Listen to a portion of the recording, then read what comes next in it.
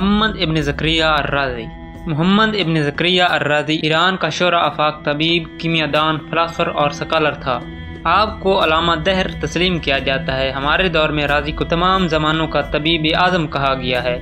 عہد وسطی کے یورپ میں آپ کو عربوں کا جالینوس کا خطاب دیا گیا تھا، جو نوبل پرائز سے کم نہیں۔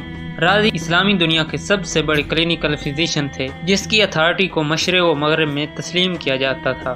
راضی نے طب کے میدان میں کئی کام سب سے پہلے کرنے کا سیرا حاصل کیا، جیسے چیچک اور خسرہ میں فرق، متعدد کیمیائی مادوں کی دریافت بشمول الکول اور مٹی کے تیل کے۔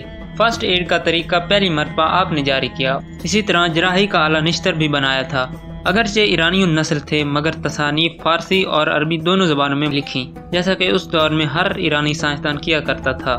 ہندوستانی، ایرانی اور یونانی علم طب پر کامل دسترس حاصل تھی۔ راضی نے طب، کیمیا، موسیقی اور فلسفی میں لازوال کارنامے سر انجام دیے تھے۔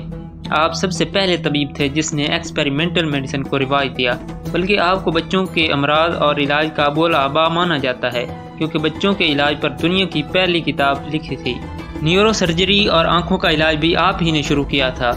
موجودہ تہران کے قریب شہر رے کے جنرل ہاسپٹل اور بغداد کے مقتدری ہسپتال کے چیف فزیشین کے عہدے پر فائد رہے تھے۔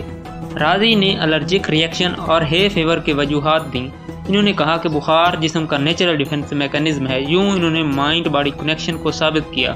راضی نے کہا کہ بیماری کی مخصوص سائنسی وجوہات ہوتی ہیں، یہ خدا کی طرف سے عقوبت نہیں ہوتی یعنی یہ خدا کی طرف سے کوئی سزا نہیں ہے۔ میڈیسن میں الکوہل کا استعمال آپ نے شروع کیا تھا، آپ نے نئی ادویہ کا استعمال جانور پر کیا، یہی طریقہ اب تک رائج ہے۔ ایک مرتبہ راضی نے سلطان کے ایک گھوڑے کا انسانی خوراک سے دو یا تین گنا زیادہ خوراک دے کر علاج کیا تھا۔ چھوٹی سے چھوٹی چیز کا وزن یا دواؤں کا صحیح وزن معلوم کرنے کے لیے آپ نے میزان طبی ایجاد کیا تھا۔ یونیورسٹی آف پیرس کے اسکول آف میڈیسن کے وسیع و عریض حال میں الراضی اور ابن سینا کی پینٹنگ میڈیسن میں چوٹی کی شخصیات ہونے کی سبب دیوار پر ابھی تک آویزہ ہیں۔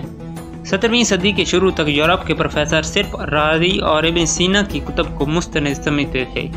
راضی کی سوانح اور طبی کارناموں پر ایک خاص کانفرنس لندن میں انیس سو تیرہ میں منعقد ہوئی تھی۔ تہران میں راضی انسٹیٹیوٹ کام کر رہا ہے۔ ایران میں ہر سال ستائیس اگست کو راضی ڈے منایا جاتا ہے۔ راضی کی طب میں مہارت کا خلاصہ ایک فگرے میں یوں بیان کیا جاتا تھا، جو بطور ضرب المثل شہور ہو گیا۔ فن طب مردہ ہو گیا تھا۔ جالینوس نے اس کو زندہ کیا۔ پراگندہ تھا۔ راضی نے اس کو ایک شہرازے میں منسلک کیا۔ وہ ناقص تھا۔ ابن سینا نے اس کی تکمیل کی۔